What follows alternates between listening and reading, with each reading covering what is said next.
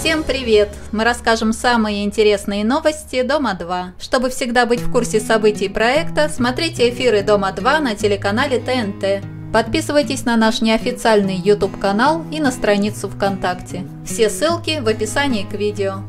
Проект покинула Настя Датюкова. По какой причине неизвестно. Вероятно, она спасла от ухода Леру Фрост или Машу Кахно.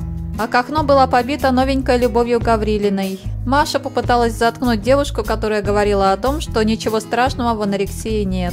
Всех участников на поляне на целый месяц лишили телефонов.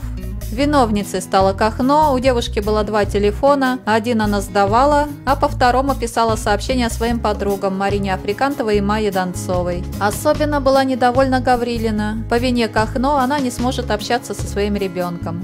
Ведущие готовы вернуть всем телефоны, если Маша наконец-то уступит Андрею Денисову, если у них случится волшебство.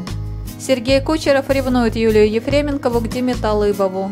Дима расстраивается из-за того, что Сергей усомнился в дружбе с ним. К Юле он относится как к старшей сестре, ну и теперь отказался от идеи лететь вместе с ней домой.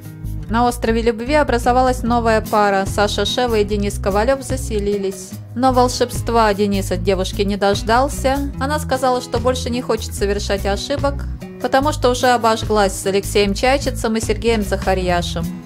Ходят слухи, что на Сейшелы улетели Майя Донцова и Алексей Купин, а в их комнату заселили Леру Фрост и Захара Соленко, который недавно вернулся.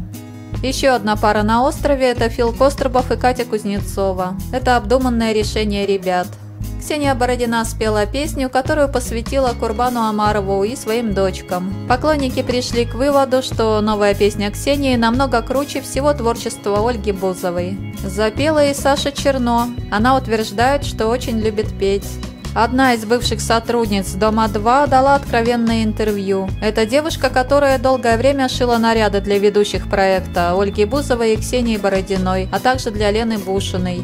И по словам сотрудницы, Бушина часто жаловалась на жизнь. Лена очень хотела стать ведущей, но вместо нее ведущей стала Бузова. Что неудивительно, говорила Бушина, ведь Ольга спала со всеми подряд.